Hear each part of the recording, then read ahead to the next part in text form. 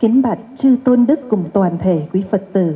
Trong văn hóa Á Đông, lân là một thứ tứ linh long lân quy phục. Lân là biểu tượng của hoan hỷ, may mắn và bình an.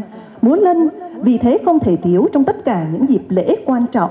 Và trong đại lễ an vị Phật của viên thông tự hôm nay, đội lân nữ viên thông tự xin được cúng dường màn múa lân để mừng đại lễ an vị tôn tượng Đức Bổn Sư.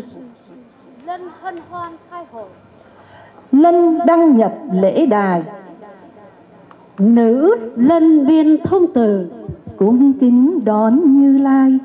Xin mời đội nữ lân viên thông từ